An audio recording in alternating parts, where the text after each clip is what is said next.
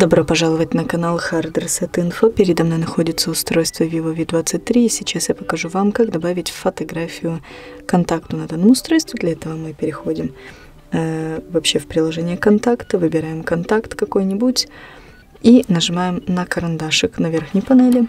Далее нажимаем «Сменить фото». И можем либо сделать новое фото, либо выбрать другое фото, либо удалить фото. И можем, я не знаю, поставить какую-нибудь фотографию, абсолютно любую, выбрать, установить и сохранить.